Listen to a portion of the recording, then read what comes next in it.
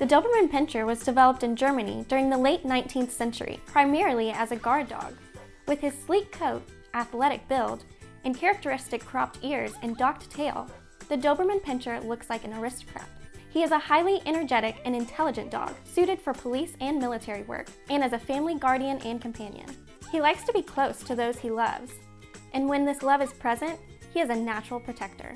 Those who know him say that a well-bred and properly socialized Dobie is an excellent pet and companion, suitable for families with other dogs, gentle with young children, and overall a loyal and devoted family member. Want to know more about this regal breed? Give us a call today.